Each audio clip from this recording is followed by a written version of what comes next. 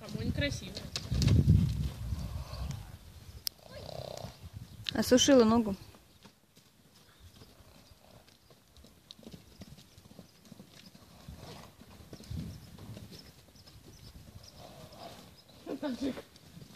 Таджика расперла.